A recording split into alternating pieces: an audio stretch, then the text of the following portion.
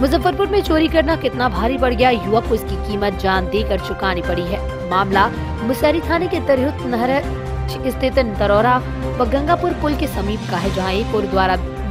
चोर द्वारा बिजली के तार को काटा जा रहा था इस दौरान बिजली के तेज झटकों से कर उसकी मौत हो गई सुबह लोगों ने अधचली लाश देखकर पुलिस को सूचना दी जिसके बाद मौके पर पहुंची पुलिस ने शव को कब्जे में लिया और जांच शुरू कर दी युवक की पहचान करजा के खलीलपुर निवासी लाल राय के पुत्र देवेंद्र राय के रूप में हुई है वो बिजली मिस्त्री का काम करता था मुसहरी थाने के सब इंस्पेक्टर शशि भूषण प्रसाद सिंह ने बताया कि बिजली के तार की चोरी करने के क्रम में करंट से युवक की मौत हुई है स्थानीय लोगों ने बताया कि जिस जगह ये घटना हुई उसके आगे बिजली का तार भी कटा हुआ है और ये तार काटने ही आया था इस दौरान झुलस कर उसकी मौत हो गयी शव को पोस्टमार्टम के लिए भेज दिया गया है नहर बांध जो है हम्म, हम्म। भटौलिया ग्राम स्थित है हाँ। वहीं पर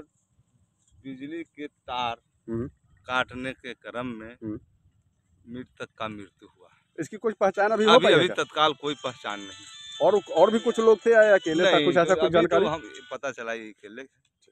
दीपावली की खुशियों को बच्चों के बीच पटाखा बांटकर मनाया गया शुक्रवार को एक प्रयास मंच के द्वारा बहलखाना स्लम बस्ती में दीपावली सामग्री वितरण का आयोजन किया गया मंच के संस्थापक ने कहा मंच के द्वारा लगातार शहर के स्लम बस्ती जरूरतमंद बच्चों के बीच शिक्षा जागरूकता कार्यक्रम का आयोजन किया जाता है जिसका उद्देश्य ये होता है कि बच्चे पढ़ें और अपने साथ अपने परिवार समाज का नाम रोशन करें साथ ही पर्व त्योहार में भी इन बच्चों के बीच कार्यक्रम का आयोजन किया जाता है ताकि बच्चे खुशी ऐसी त्योहार मना सकें अभी दीपावली त्योहार को लेकर मंच द्वारा एक प्रयास किया गया और बच्चों के बीच पटाखा फुलझड़ी वितरण किया गया जिसे देख बच्चे काफी खुश रहे घर दीपावली बच्चों की खुशहाली आज एक प्रयास मंच के द्वारा बहल खाना सलम बस्ती में दीपावली त्यौहार को लेकर बच्चों के बीच कार्यक्रम का आयोजन किया गया मंच के द्वारा लगातार अपने शहर मुजफ्फरपुर के सलम बस्ती जरूरतमंद बच्चों के बीच शिक्षा जागरूकता पठन सामग्री वितरण किया जाता है उद्देश्य ये है कि यही बच्चे पढ़े और अपने साथ अपने परिवार समाज का नाम रोशन कर सके और साथ ही पर्व त्यौहार में भी इन बच्चों के बीच कार्यक्रम किया जाता है ताकि यही बच्चे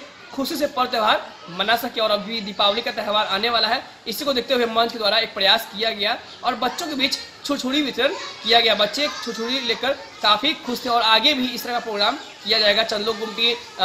सिकंदरपुर मुक्ति शमशान घाट बोचहा भूसाई चौक और अन्य जरूरतमंद बच्चों के बीच इस तरह कार्यक्रम का आयोजन किया जाएगा बिहार के प्रथम मुख्यमंत्री बिहार के श्री डॉक्टर श्री कृष्ण सिंह की जयंती आरोप मुजफ्फरपुर के एम सिन्हा साइंस कॉलेज में समारोह का भव्य आयोजन किया गया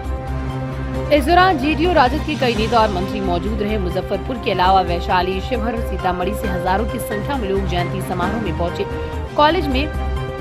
काफी संख्या में लोग मौजूद हुए इस दौरान मंच पर जेडीयू के राष्ट्रीय अध्यक्ष राजीव रंजन और ललन सिंह जेडीयू संसदीय बोर्ड के अध्यक्ष उपेंद्र कुशवाहा बिहार सरकार के समाज कल्याण मंत्री मदन सहनी बिहार विधान परिषद के सभापति देवेश चंद्र ठाकुर एमएलसी दिनेश सिंह राजद विधायक मुन्ना यादव अमर पासवान समेत कई दिग्गज नेता मंच ऐसी श्री कृष्ण सिंह को याद किया मंच से नेताओं ने उन्हें भारत रत्न देने की मांग की कहा कि वो महापुरुष थे सिर्फ देश और राज्य नहीं बल्कि समाज के सभी तबके का वो ख्याल रखते थे इसलिए वो महान विभूति थे साथ ही उनके कार्यों को याद किया गया वही मंच से जेडीयू के राष्ट्रीय अध्यक्ष ने पहले श्री कृष्ण सिंह के बलिदान को याद किया कहा कि उनकी अनेक विभूतियां हैं उनके योगदान को देश सदैव याद रखेगा इसके बाद उन्होंने बुछा की जनता का धन्यवाद दिया कहा कि जिस तरह बुछा उपचुनाव में जनता ने जीत दिलाने का काम किया उसी तरह 2024 में भाजपा की विदाई भी सुनिश्चित करेंगे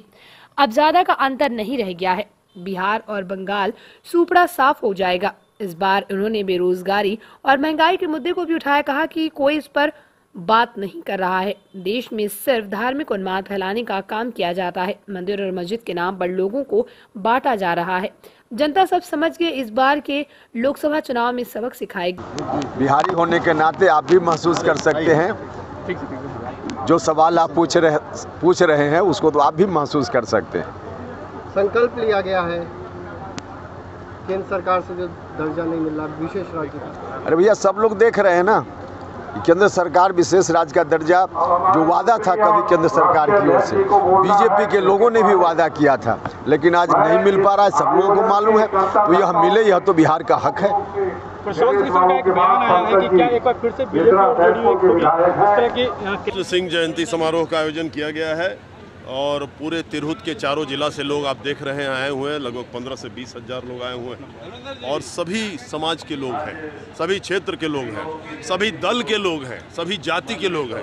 कोई ये दल से कराया गया कार्यक्रम नहीं है ये पूरे तिरहुत की जनता ने किया है हम लोगों ने किया है इसमें कोई दल विशेष जाति विशेष वर्ग विशेष कोई इस तरह का आदमी नहीं हर एक पूरे सभी क्षेत्र के लोग हैं जनता दल यू के राष्ट्रीय अध्यक्ष माननीय राजीव रंजन सिंह और ललन सिंह अभी पहुंचेंगे पाँच दस मिनट में वो मुख्य अतिथि के रूप में माननीय मंत्री बिहार सरकार संजय झा जी आ रहे हैं माननीय मंत्री अशोक चौधरी जी आ रहे हैं माननीय उपेंद्र कुशवाहा जी आ रहे हैं माननीय मदन सहनी जी पधार चुके हैं इसलिए कार्यक्रम बहुत ही व्यापक रूप में कराया गया है इसलिए कि श्री बाबू का जो योगदान इस पूरे देश में और हमारे खासकर बिहार प्रदेश में था मैं समझता हूँ अभूतपूर्व था उसी कार्यक्रम का आयोजन आज यहाँ पर देने की मांग की गई है वो तो मंच आप सुनेंगे ही जो घोषणा हम लोग डिमांड करेंगे मंच से हो उसमें मान तो जरूर करेंगे आज तक कभी नहीं इससे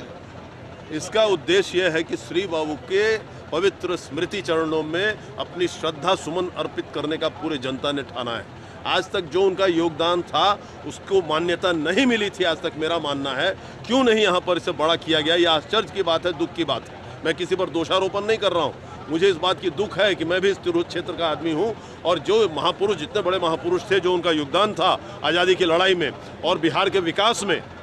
अगर आप उनका इतिहास पढ़े तब आपको पता चलेगा जो क्या उनका योगदान था तो जो उनका योगदान था उसी रूप में ये कार्यक्रम हो यही हम लोग की बहुत दिनों से इच्छा थी